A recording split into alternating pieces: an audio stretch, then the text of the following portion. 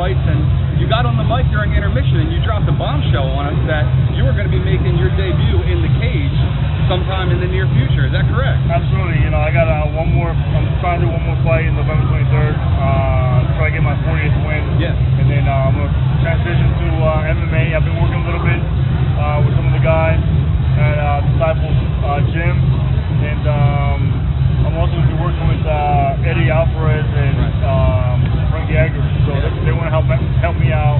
Uh, I've helped them out before in sparring and stuff like that. So um, you know, we're gonna um, get together and um, hopefully in the next six, seven months, you know, I'm in the ring. So, Watch it at the Hexagon. w- uh, we'll take it back. We'll take it back a little bit because there was a long time argument of the the boxer and MMA fighter and everything. You know, who would win? And then that conversation came up where everybody brought your past stuff of your wrestling and was like, you know, who would make a great transition?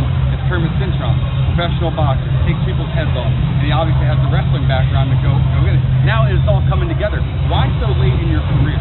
Well, uh, I know one time um, the name Sean Short came up, and I was all about it. Yeah. And then uh, that kind of died out, so I just continued my um, my boxing career.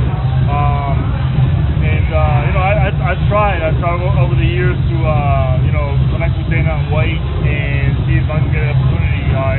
about. So um, working with uh, my coach uh, Pedro, he, he has some connections, as well as uh, Scott, who owns uh, Disciple Gym.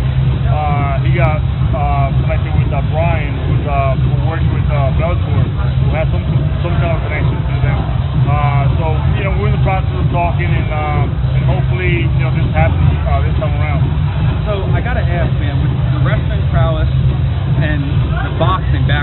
obviously fantastic. It speaks for itself.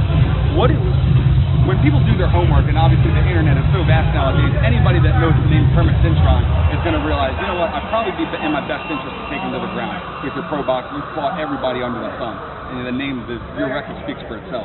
So how do you prepare for that? Are you mainly focusing on your ground game per se now, or how's your kicking game coming? Well, right now we're just working on uh, on on bad situations, and you know the, the groundwork is, is what I'm, I'm I need to work on. You know the jiu-jitsu part of things. Uh, but as I'm getting it on, going, getting together, and you know it's, it's to all, all come together uh, eventually from the first fight. So I'll, I'll be ready for you know if they take me down or they'll try. I'm sure they'll try to take me down. Um, but uh, you know the, their plan is always to be prepared for for whatever comes. Well, hopefully we can stay in touch. I'll get a pre-fight interview before your first uh, MMA bout. But good luck getting your 40th win in the uh, ring, man. Thank you, man. I appreciate you taking the Thank time. you. And for MyMMANews.com, I appreciate my man Kermit Cintron for taking the time and keep it locked to MyMMANews.com for all your fight news needs. Everyone, My appreciate man.